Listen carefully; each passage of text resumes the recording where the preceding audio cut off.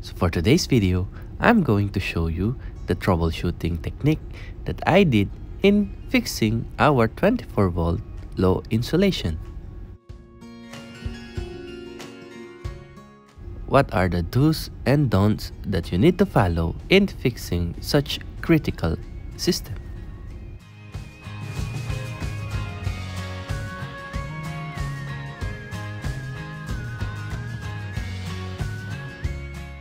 Fixing the system requires planning and you need to inform the chief engineer and the captain with the situation that may happen.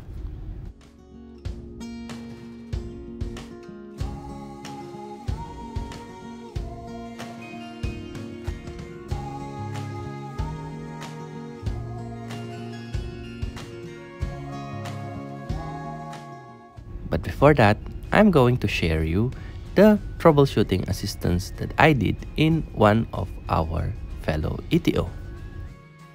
The earth fault monitoring system installed in their vessel has only indicating light. Every time we flip the test switch, the end pole illuminates and the end pole will dimmed. So he was not sure about the condition of the system with that kind of indicating light. So here's the explanation. The indicating light that will be dimmed is where the line is causing the earth fault.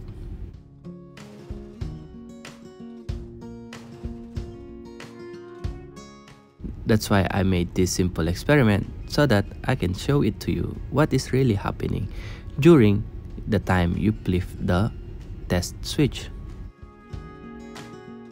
Both lamps are connected into series. And the test switch is connected to your ground.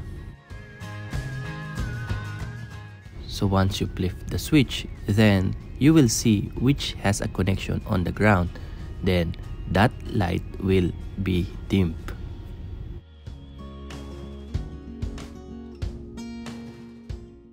So let us now go to the troubleshooting of our onboard 24 volt low insulation.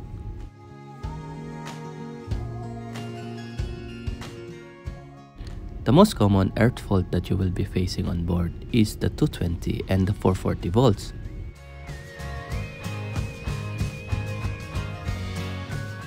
Whether the feeder panel is in your main switchboard or in your emergency switchboard.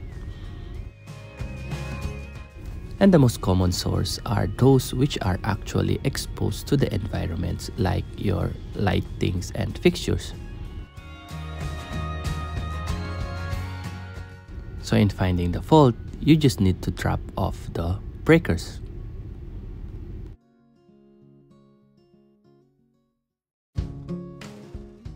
And it is easy to do in 440 and 220 volts.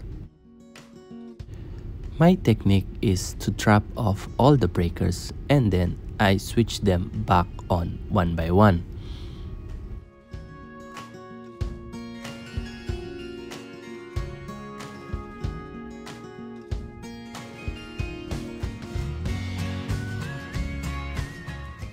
But of course, it would be a different case if you have a fault in your 24 volt system.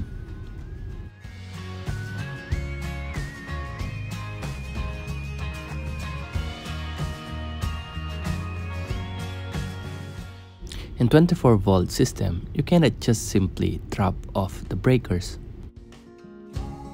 because critical and essential equipments are connected into the 24 volt system.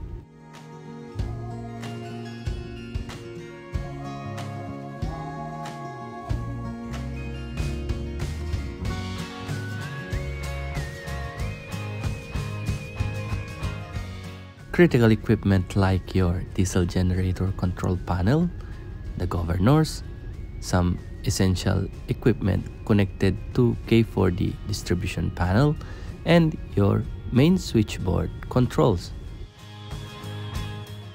of which the breakers cannot be switched off that easily, especially if the main engine is running. Because if you drop off the breaker that is connected to the control system of your main engine, it may cause a slowdown or worse, blackout. So to solve the onboard situation, I categorize each breakers which can be switched off and which may not. It is also important to inform the second engineer and the chief engineer before touching anything.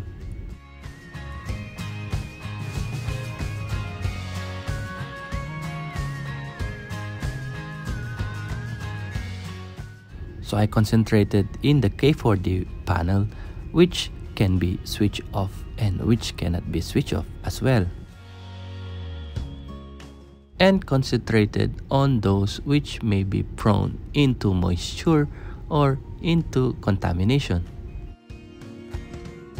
I had experienced before when we dropped off the GE oil mist detector panel, then the ship went into blackout.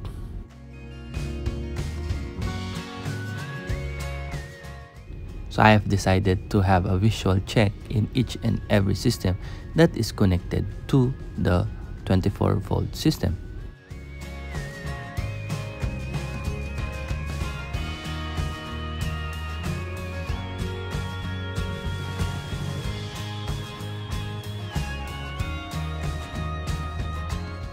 Since generator number 3 and number 4 are connected into the system, I asked them to change over the running generators into number 1 and number 2.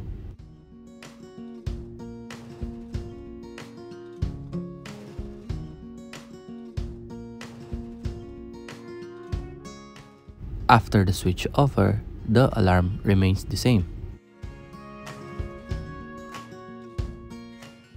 I also did the visual check on each and every sensors and the control panel itself.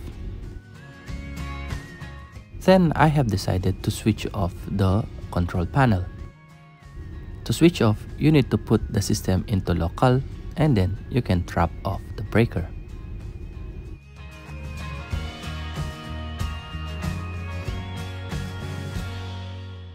So I did this for both the generators number 3 and number 4.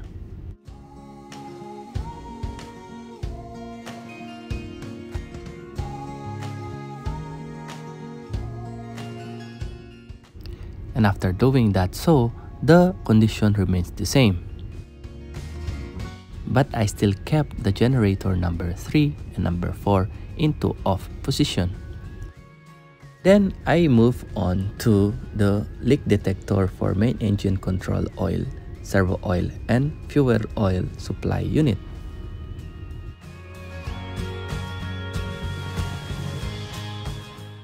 Until I found this one sensor.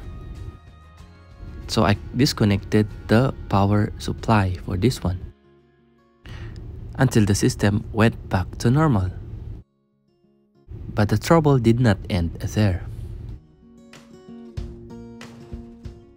Because after switching back on the generator number 3, then the earth fault meter did a little bit of deflection. So I have checked each sensor one by one until I found this. This is the scavenge air temperature sensor.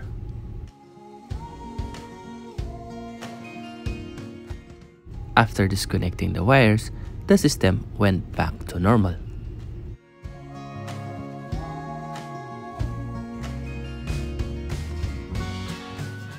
So I hope you learned something from this video and please do not forget to like, share, and subscribe to this YouTube channel. See you on my next video.